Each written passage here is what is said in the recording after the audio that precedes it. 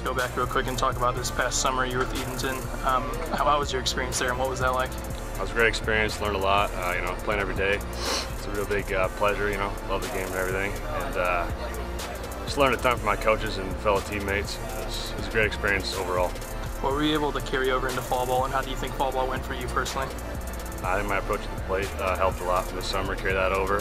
I also learned, you know, how to win, won a championship there, and even though it's summer ball, you learn, you know, how a team can come together and, and win games. What are some of the things you guys are going to be focusing on as an infielder as you get ready for the season?